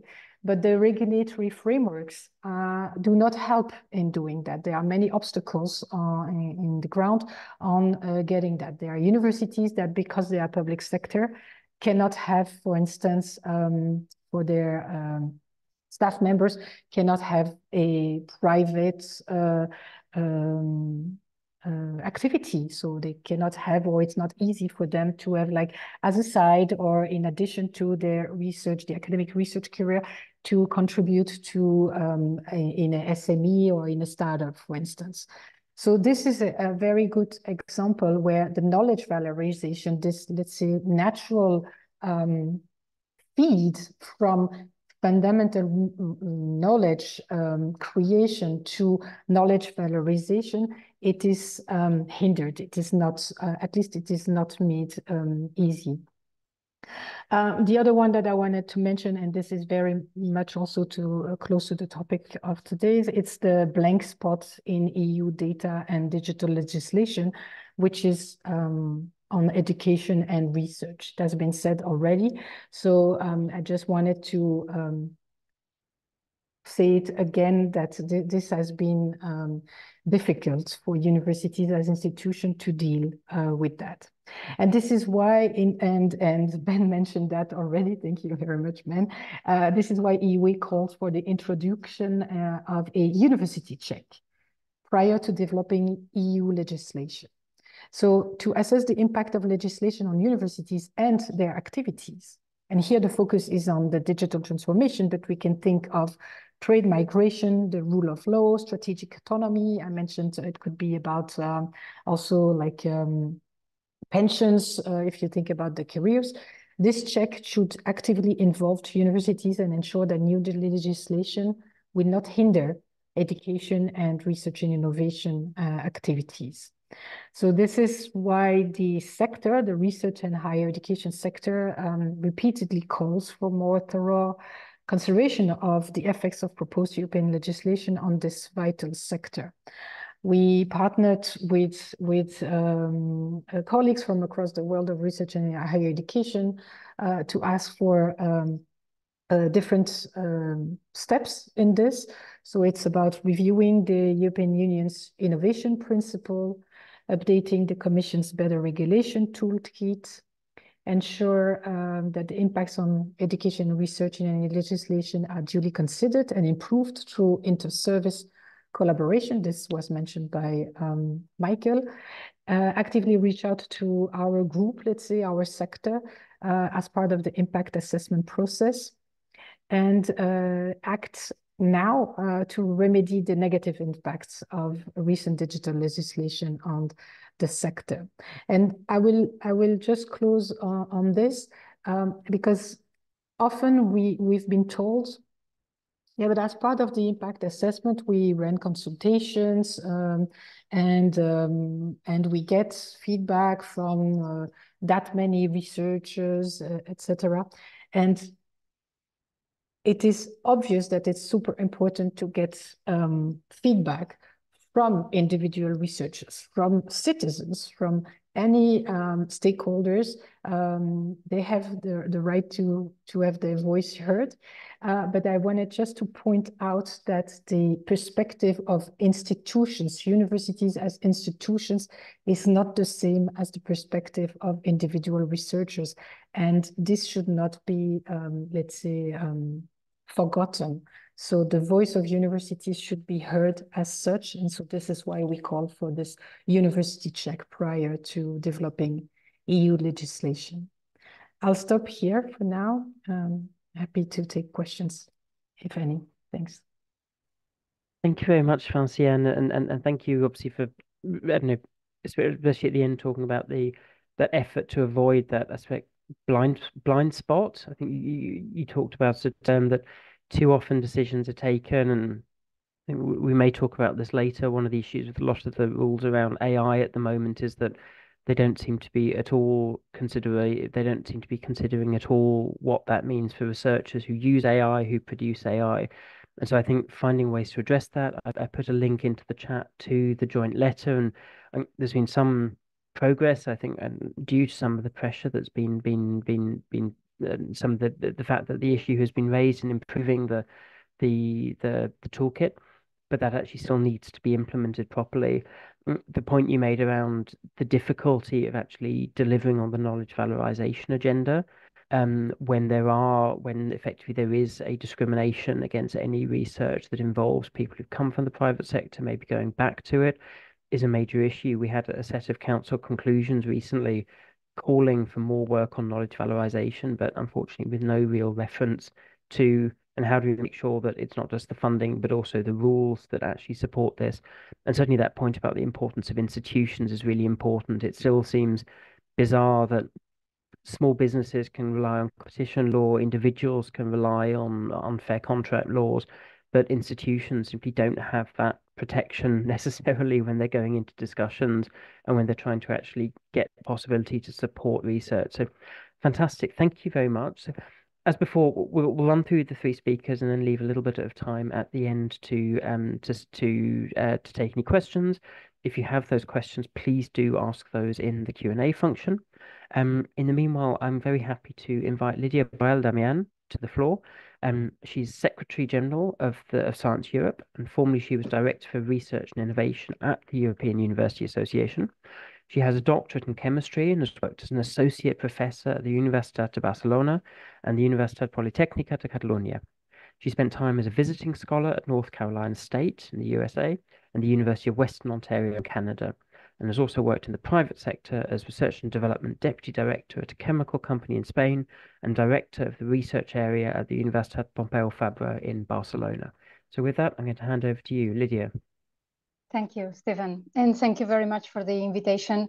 I am very happy to be here today uh, with these uh, excellent panelists sharing the thoughts about uh, what's the next phase for EU legislation in support of research. I, I feel many things have been said already. Therefore, I can only say that I very welcome the efforts of all my colleagues uh, before, the efforts of the Commission, always supportive of research. Uh, Michael, thank you very much for everything you do uh, with us and for us. And um, maybe I will highlight today the five uh, pledges that we prepared, Science Europe uh, prepared for the um, European elections, and uh, maybe a note on um, legislation, but more specifically to artificial intelligence and, and some challenges in this uh, respect. I, um, first of all, for those who may not be familiar with Science Europe, we are an organization that represents national research funding and research performing organizations across Europe, currently with 40 big members all uh, across Europe from Lithuania to uh, UK and Norway through uh, to Italy. So um, we, we, provide this comprehensive view of what is public uh, research uh, from the concept of a call, let's say, of a call for proposals, right through to uh, publication and use of results. So it, it is from this perspective that we came up with five pledges that we put forward very short um, for hopefully MEP candidates to read them and also for those interested in, in research to see what, in our view, are main issues of concern. Clearly, we are all in support of uh, soft or hard, but in a way better legislation in support of research activities. Um, however, a, a, point to make is that we trend we tend to think only about what is in our court in research, but in fact, investing in research is investing in society, is investing in culture, in addition to competitiveness. We tend to look at research as a perhaps as an instrument to build competitiveness, and that's right. But at the same time, um, outcomes of research are, are a source of culture, are a source of societal evolution. And I think that this is something that, despite mm, politicians being more or less in research as such, I think that the cultural element that is linked to research should perhaps be more highlighted because it is benefit, it is a benefit for all. So that was a, one of the first pledges is, is that invest in society culture and competitiveness. That means invest in research as well. And we believe that um, we need to invest in research all across Europe and make many, many efforts to decrease the gap of the so-called widening, and not only countries, but areas uh, where there is a clear underperformance of research and innovation, not because every region in Europe has to become a hub, but definitely not to have this uh, differences, enormous differences between those who invest the most and those who invest the least, which is 3%. That gap should be uh, not only decreased, but it should be raised on those that invest less and measures to help them to make progress in this direction uh, it should be of utmost concern to the Commission, but also to the new Parliament, etc. Second pledge was uh, the freedom of scientific inquiry. I probably, for those familiar in research, that doesn't come as a surprise. But the truth is that it is never enough um, effort in making that a statement and embedded into the institutional policies for that to be a reality. Without freedom of scientific inquiry, we cannot move on. We put science at the service of who knows who, probably government or private interests. And that's fine. There always uh, be an interest in these domains, but we need to respect the fundamental nature of research that is based on the freedom of scientific inquiry. We heard all over and over again academics being uh, mistreated or uh, severely treated, mistreated, and even endangered, and sometimes paying with their own lives. So we, we, we it is uh, of utmost importance that the academic sector comes strongly on that point and defends uh, scientific inquiry. And we believe that there are provisions, uh, at least the old uh, European Parliament started um, develop a concept note for um, a law or a soft law uh, providing uh, support for that. So we would be very happy to make progress in this direction. Uh, third pledge was collaboration, openness, and equity.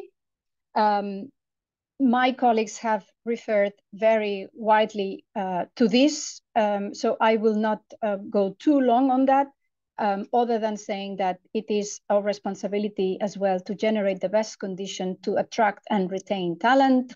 And here just uh, to um, build on the words of my colleague Vinciane Gaillard, yes, we need money, but also we need right policies. And attracting and retaining talent is of a policy that is of utmost importance to uh, be uh, productive and uh, advancing uh, research. A fourth pledge was equality, diversity, and inclusion. Also, some other colleagues have been referring to that. But for us, um, equality, diversity, and inclusion is uh, it, it is multidimensional. It is not just female, male. It is also diversity in terms of social background, access to education and research. It is in in um, uh, sorry um, uh, disability it is about religion, it is about ethnicity. So the, the approaches to policies uh, towards equality should be broader than just tackling male and female, while this is, of course, remains as, a, as an important uh, point. Um, this, uh, we believe that developing more uh, legal frameworks, again, soft or hard law, encouraging the update and upgrade of policies regarding equality, diversity, and inclusion should be made. Last but not least, the, the, the fifth um, pledge was on science communication. Science communication um, has been, up until now, with some honorable exceptions, concentrated on dissemination of successful results. That we believe has to change radically and concentrate more about communicating research processes from the, right from the beginning, right from the concept of the calls for uh, projects. That was one of the um, um, very good new good ideas that emerged out of a big conference we organized here in March in Brussels uh, as a frame in the framework of the Belgian uh, presidency um, where we had uh, many, many participants who said that science communication normally comes up too late, um, only uh, promoting, as I said before, that breakthrough discovery that maybe one day can make it to, to a very nice treatment for, for our health, etc., to uh, something much deeper that takes into account the characteristics of the research processes. This, together with uh, um, strengthening the literacy on research in uh, students, and not only in higher education, but even going down to the very uh, primary schools, we believe would be necessary. Here, and then I'm turning to my last point, which is on artificial intelligence. Some of you, some of my colleagues have already referred to that. Artificial intelligence is on the edge to kind of, I don't know, I don't want to, to use the word govern our lives, but yes, being very influential in the way we conceive and we, we move around. So it would be um, clear um, legislative frameworks in our lives, meaning now in research sector specifically, are much needed.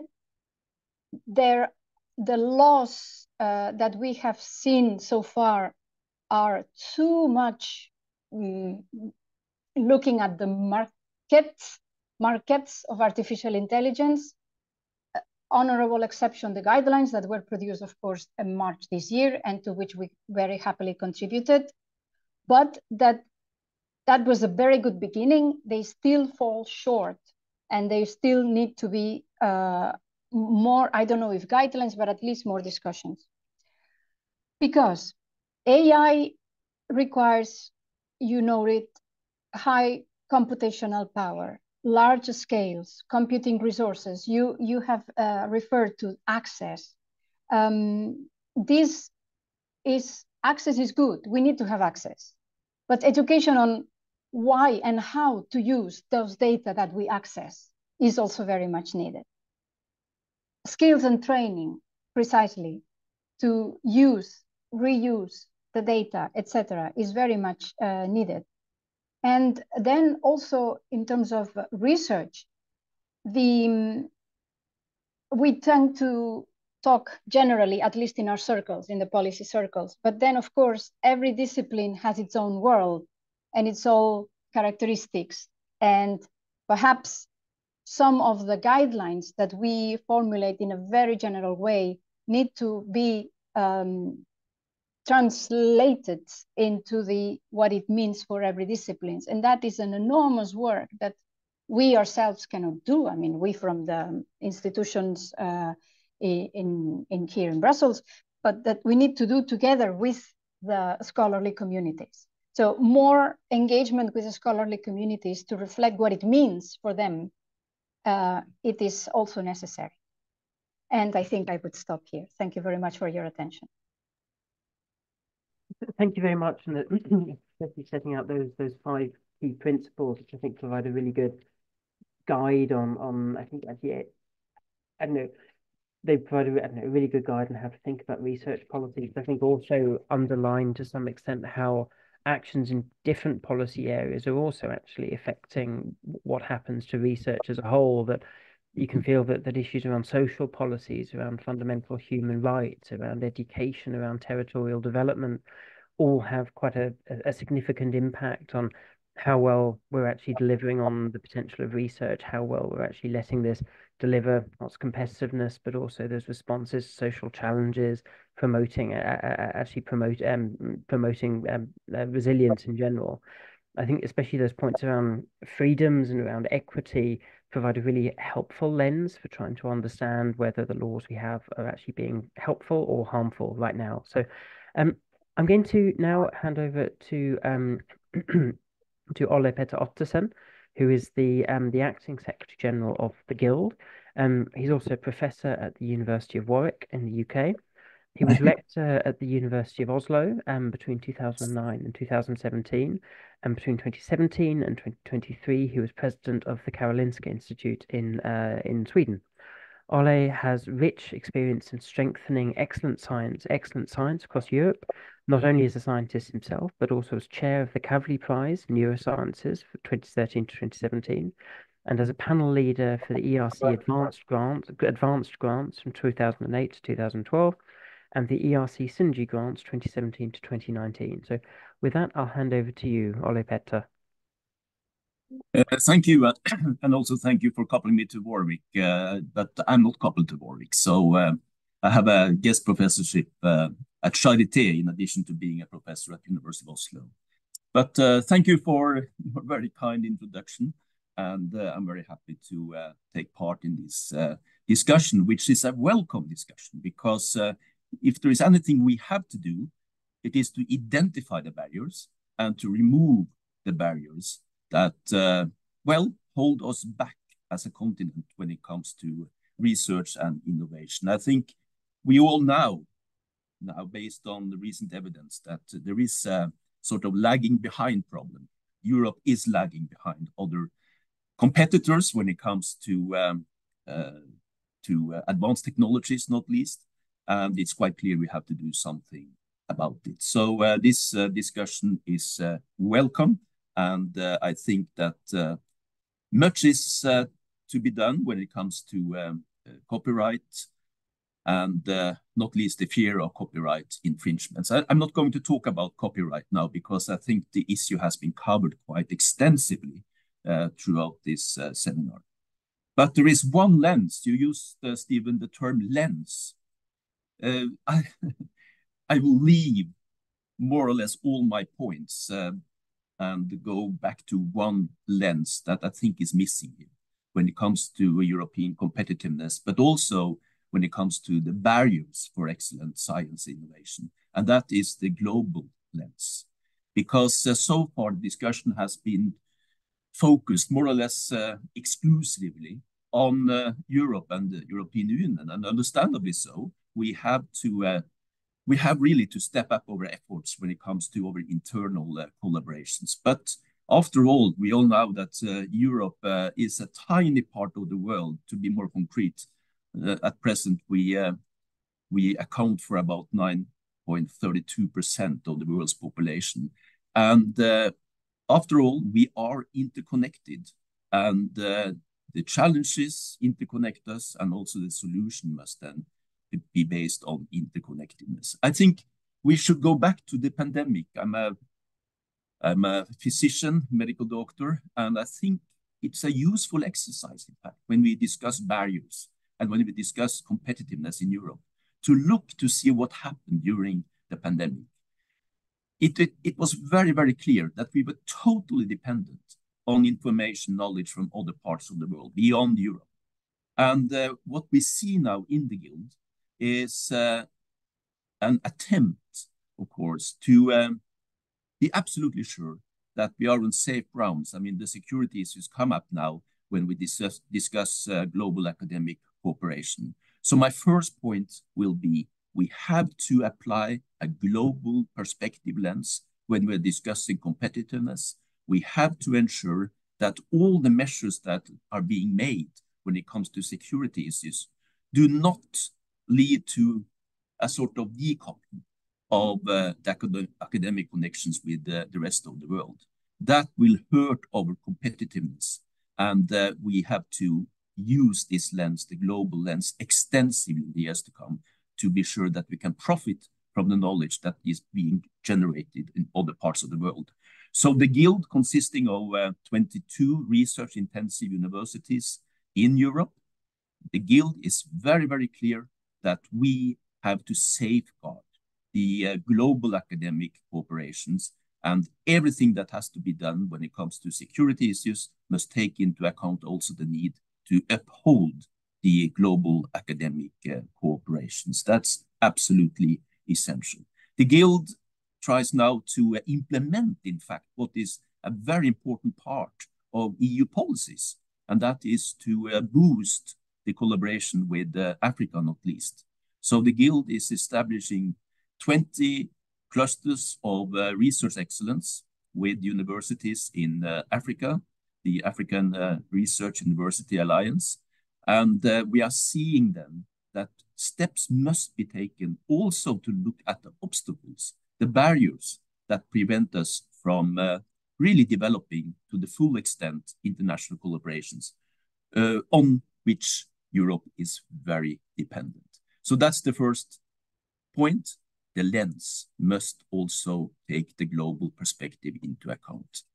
Then we have um, point two, uh, a very, very important uh, issue, I think, in this particular uh, discussion. And that is, of course, how to marry excellent science, excellent research with excellent innovation. I think the document that uh, was just uh, published, how to um, get out of the uh, middle technology gap is a very good starting point for a discussion on this uh, particular issue. I guess you have all read this uh, very interesting report from the European Policy uh, Analysis Group. It tells us in no uncertain terms that we need to have much more breakthrough science and breakthrough innovation in the European Union. And then we cannot focus on the, the high technology readiness levels. We have to go for the uh, low technology readiness level. Where exactly is the place that excellent science and excellent innovation is married and coupled?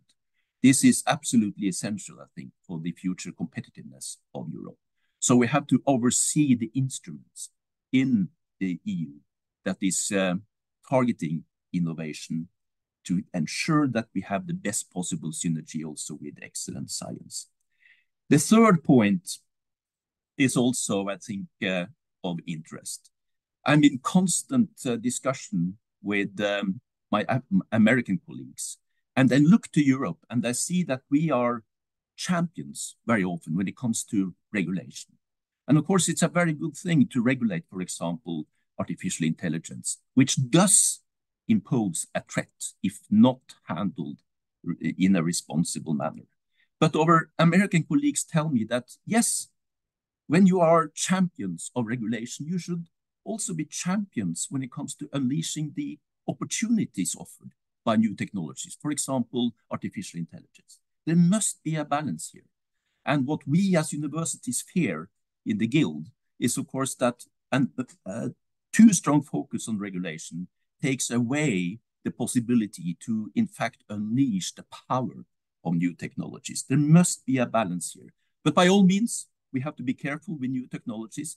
And what is also important is that every new technology must have an interface with society that uh, helps uh, introduce new technologies on the uh, society. And then we need social sciences, art, and humanities. So we must not forget that new hard technologies must, again, I use this word married, married with competence in uh, social sciences, arts, and humanities. So these are three different issues, I think, that are important. Just one very specific comment on uh, European health data space, which is very relevant in this particular context. Uh, the future of Europe is very much about health. And we have to have instruments in place that allow us to uh, remove some of the obstacles when it comes to the use of data for research in the health arena. And uh, we have gone through the, the uh, European health data space regulations, and uh, we see many issues that need to be handled. There are many issues here that I think uh, should be brought up in this context uh, of um, KR21, for example, that there is there are inconsistencies between uh, e, uh, European health data space regulations and other legal acts. There are vague definitions, and clear ethical requirements, uh, not uh, sufficiently distinct allocation of responsibility. The European health data space regulations must be revised so that we are absolutely sure that we can use data for the best possible in the best possible way in Europe.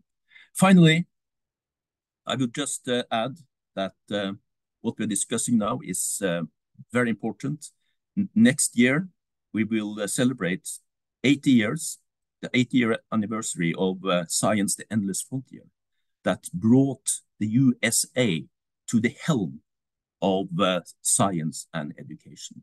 And one very important aspect of uh, science endless frontier is that it led to this perception that everybody must be able to drink from an open pool of knowledge. This is essential.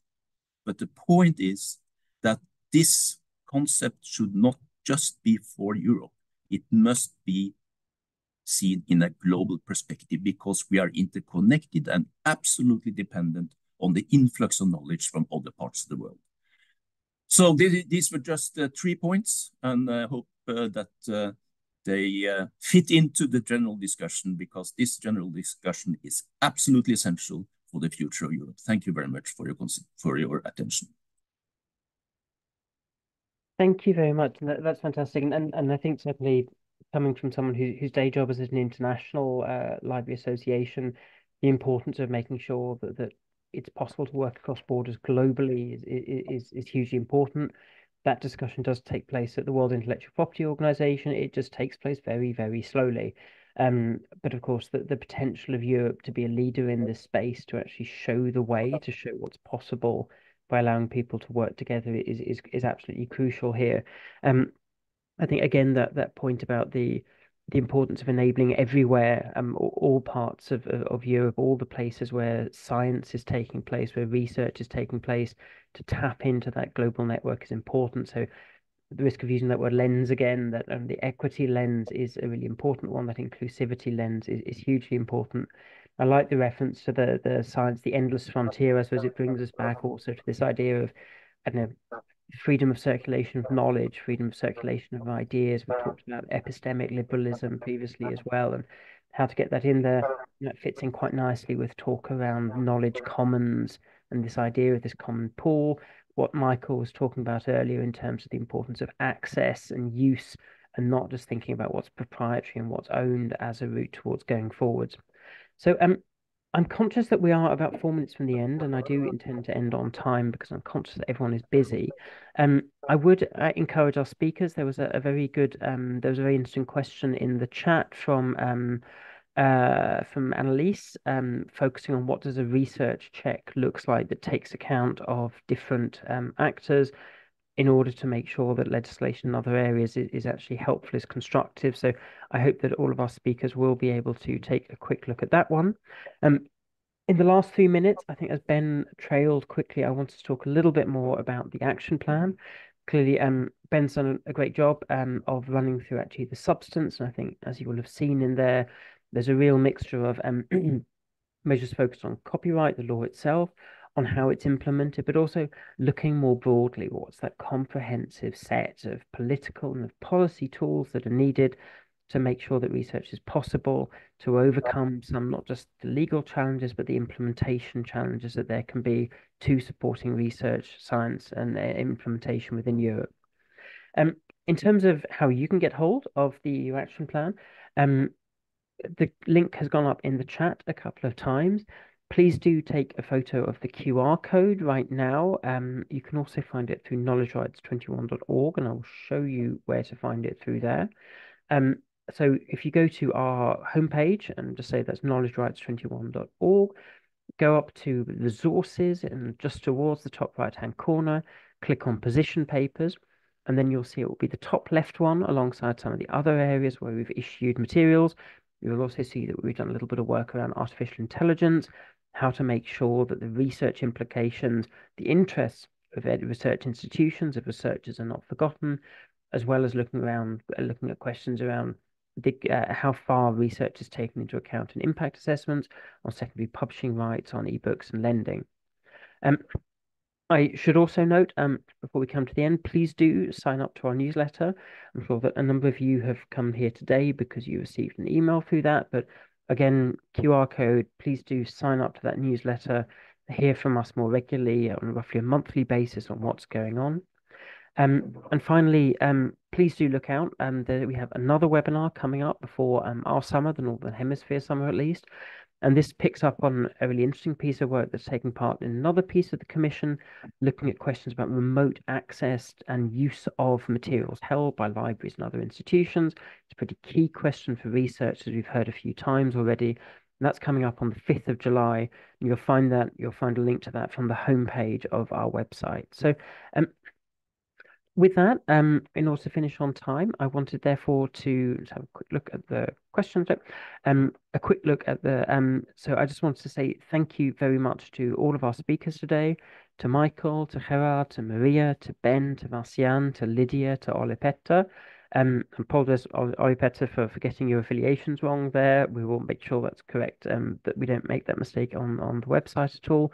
Um, and with that, please do stay in touch. Sign up to that newsletter think about how you can draw on that action plan. It's there as a resource, it's there as a conversation starter. Um, it's there to hopefully provide a basis for thinking about how can we have a really ambitious, a really productive, a really pro equity, pro competitiveness research strategy within Europe going forward. So, with that, thank you very much for your time, and I wish you a very good rest of the day.